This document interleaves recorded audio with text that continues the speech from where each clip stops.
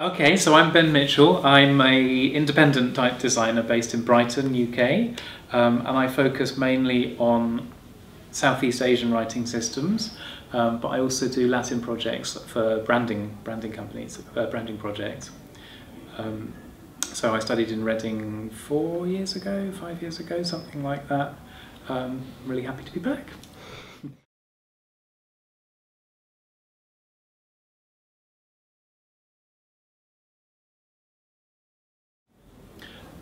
I think for the scripts that I work on, it's incredibly nice to see um, things like Burmese starting to enter into the market because for a very long time um, the situation has been very difficult in Burma and it's great to see kind of progress happening which is including more inquiries coming through to do with Burmese. Um, I think it is, I think some of these scripts can be very, very technical to engineer to get them working on different computers. A lot of platforms don't support things like Burmese, and so there's all kinds of difficulties that you have to be aware of and try and learn from as many people as possible. It's one of the reasons I like coming to these conferences to get talking to people. How did you do that? How did you do that? How do we get this working? Um, I think, what was the second part of the question? How important is it still to just make aesthetically pleasing visual forms? That's yeah, that's definitely an important part of it. I, I don't think I'd be happy if I made an ugly typeface. Um, I try to do my best by looking at the different kinds of um, expressions of the script when I, I mean I'm often visiting Southeast Asia and looking for particular research material to inform my practice. Um, I think different people work in different ways. I mean, for me, I don't get too involved in the technical side of it because that's more a production side thing. Foundries will take care of that. Um, but obviously, I need to work with them, and so I need to understand the issues that they're that they're dealing with. Um, it, yeah, it, it's very variable. I think both sides are important. I think, um, for example, with Burmese, it's taken us a couple of years of part-time work to figure out how to make it all work. Uh, we're not still quite done yet. Um, but it's getting there, and I think I do need to have an appreciation of that. Otherwise, I'm not going to be able to do a design that's going to work on any system, um, or I'm not going to be able to work with people who are doing the engineering for that. Um, but for me personally, I, I prefer to concentrate on the shapes, the, the drawing.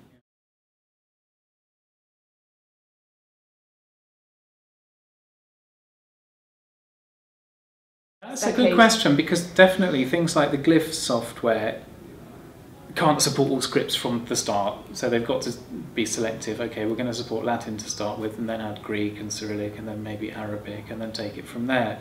You can't expect them to implement everything from the word go when there's a handful of people working for them and they're a small company. Um, but they're very receptive to comments that I have, and I've been talking to Gil yesterday about getting implementation for Lao set up and working. Um, and so I think some companies are very good at kind of, okay, we can't do everything now, but we'll talk to people and see what's going to be needed for the future and think about the best way to implement that. Other software developers not so interested. Um, things like InDesign doesn't support Burmese Unicode, and so you have real difficulties or impossibilities when you're trying to do anything in Burmese script um, because the letters come out in the wrong order on the screen, and so that's not readable. What are you going to do? You're going to use something else. Um, but from Adobe's side, obviously they don't have a majority of users who need to use Burmese, and so in their business interests, they've got to focus on where the market is, and okay, maybe other scripts are more important for them to implement first. Um, so it's a slow process for the, the, kind of the bigger companies. Um, I think they want to do these things, but product teams um, don't always understand the need for minority user groups. Um, things like Firefox are doing very well at supporting things like that. Obviously, the internet is huge all around the world, and so companies who develop web browsers want to try and make sure that they can be used in all these places. Um, and so that's a better place to start. And actually, we do a lot of our testing using Firefox because actually that's one system we know is reliable. Um, but even within those things, there are parts of Burmese that we won't get working, or parts that the authorities don't know about, like Sanskrit implementation for Burmese. There's only a few people in the world who understand how Burmese works for Sanskrit. Um, and so I've had to consult with them to figure it out and made recommendations to people in Unicode or at Microsoft about how these scripts need to work for other non-majority groups within Burma. And so it's, it's kind of, yeah, fractal in a way that you've got branches of branches of branches happening and you can't expect them all to work from the start because there's not enough people using it or knowing about it. Um, but things are definitely advancing. Yeah, things are things are getting better for Burmese.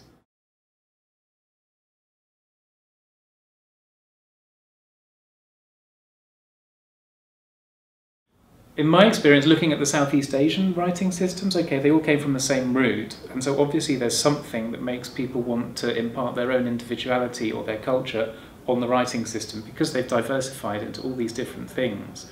So in Southeast Asia today, there's scores of writing systems, not just the majority ones, but minority ones or religious ones or who knows what.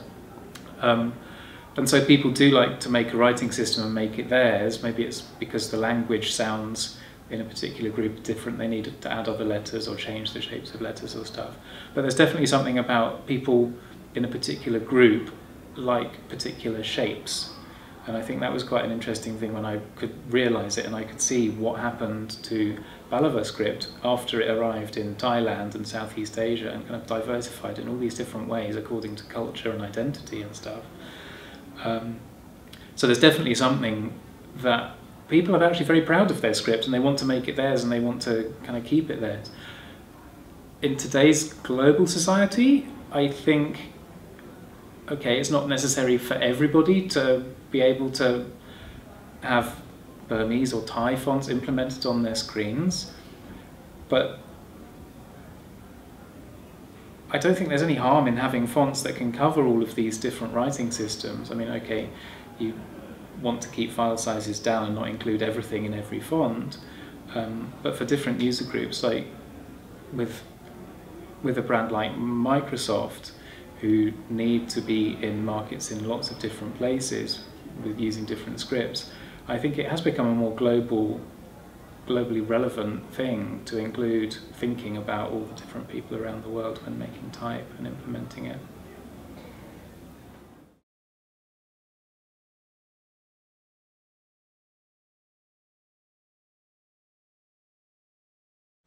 That's a really nice way to put it. Yeah, like I'm looking at as much of the background to a script as I can find. I'm making lots of research trips to, to Southeast Asia these days.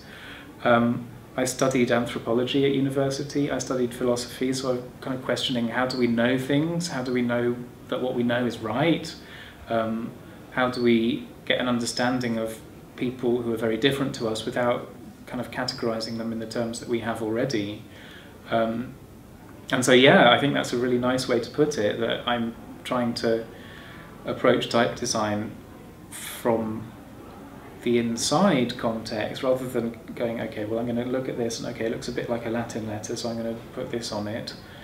That's probably not the best approach. And yeah, so I'm trying to contextualize things all the way. I'm probably making assumptions I'm not even aware of, but you know, you do your best.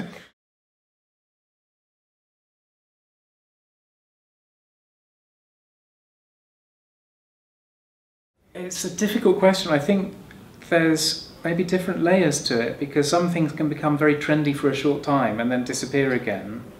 Whereas I think with the Thai loopless style, I don't think that's a trend. I think that's kind of a more a solid movement where things are changing and it's going to be kind of a more historical thing than a trend for a few years. Um, but then throughout history, the the different ways that languages are represented does swing from one side to another and then back again. In whichever script you're looking at, there are kind of preferences that last for a hundred years, a couple of hundred years, and then swing back the other way. You get periods of conservatism, periods of fast development, and new technologies and stuff happening. Um, I think it's always in flux. I don't think there's any particular way you can say, well, this is how Thai script looks, this is how Latin script looks. um, like with Latin, things like when bold came in, when italics came in, and how people used them, that has changed ever since they started being used, um, and will continue to change. So who knows what we'll be reading in a hundred years? Um, yeah. Yeah, there's got to be. um, I started thinking maybe international type design. People sometimes say world scripts. I don't, I don't know what the, the best phrase would be, but non-Latin seems to me to push what we're talking about into a niche. It seems to push it into kind of a subset of type design where it's not, because normally what we're talking about in type design is Latin, and that's the subset of global written communication. And so I'd really like to see us stop using the word non-Latin so that we can think actually Latin is a small part. We need to think about the whole thing and not kind of whether one part is bigger than another part or not. That's not so relevant. If we if we see the whole thing all together, then we can learn. I mean, things are applic- applicable across all of the different scripts. So as type designers, we can take advantage of that. Yeah, I, I don't like non-Latin too much now.